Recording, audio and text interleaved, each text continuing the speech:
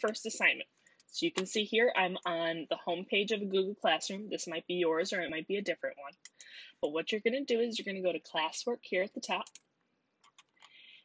And here we've got week zero, September 8th through September 11th. So our first project is day three, project one, self-portrait. I'm going to click on that. I'm going to view the assignment.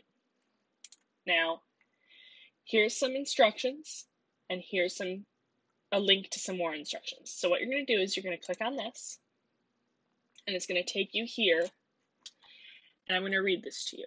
So it says project 1 self-portrait.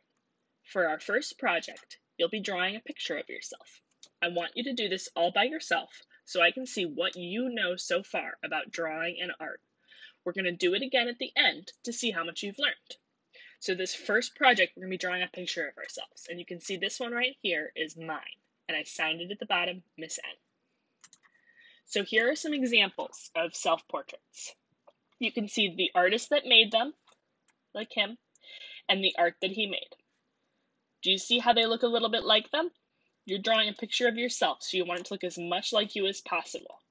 And I want you to look at this one here and notice that there's no white space left on the paper. He colored in all the stuff on the outside.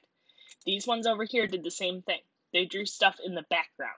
The background is all the area around the picture of yourself. You can see they drew trees and the sun and the ground.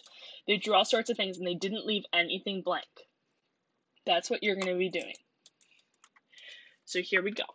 You're going to take your time. This should be 25 to 30 minutes of work. This is your only project this week that I'm going to grade, so you should be doing a full 25 to 30 minutes of work. You're going to color it in and you're going to color in the background so there's no white space left. Like on mine, there's no white space left. And you're going to have fun. That's very important in art.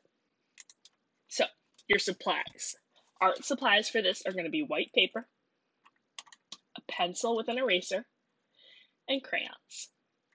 You should have all of that at home already.